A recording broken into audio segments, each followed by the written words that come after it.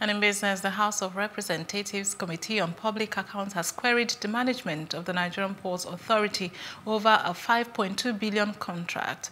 Uh, the contract was awarded for the renovation of its corporate headquarters in Lagos.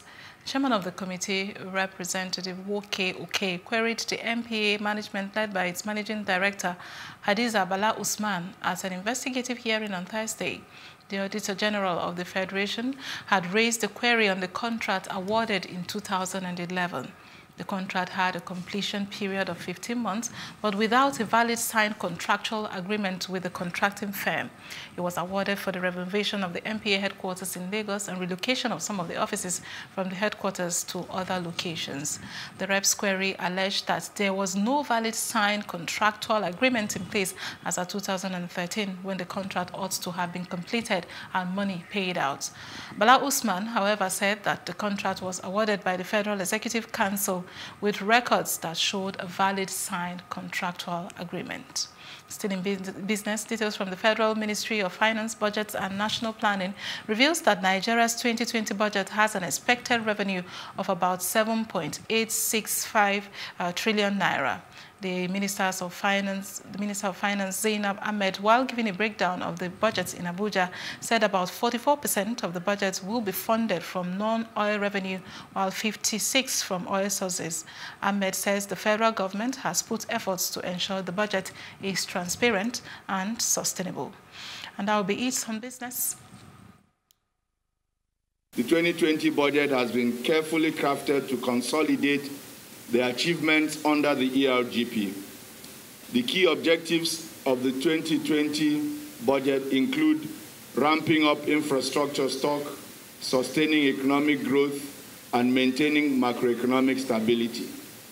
Although the 2020 capital expenditure budget falls short of the 30% ERGP target, the main emphasis will be the completion of as many ongoing projects as possible rather than commencing new ones. It is also expected that given the early passage of the budget, actual disbursements may exceed the outcomes under larger budgets in past years. The 2019 budget has an expenditure of 8.92 trillion naira, and this is the federal government expenditure, not including the government-owned enterprises. So as at September, the spending, the total spending was 5.81 trillion naira.